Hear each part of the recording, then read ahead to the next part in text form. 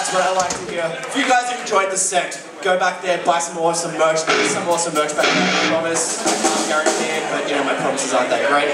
But we do have some pretty cool shit, so if you've enjoyed it, grab some stuff, support us, support the other bands, you know the drill. This next one, everyone who's standing, which means all of you, I want you to bounce up and fucking down. This is Beacons!